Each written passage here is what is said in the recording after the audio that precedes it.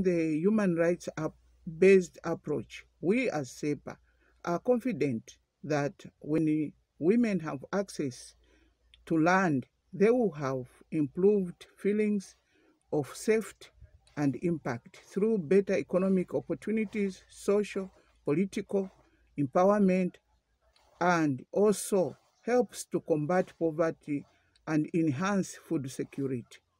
Despite some challenges in Africa, especially culture, norms, and lack of knowledge, land rights for women improves family health and education. Furthermore, women are less likely to be victims of domestic violence through participation in the household decision making.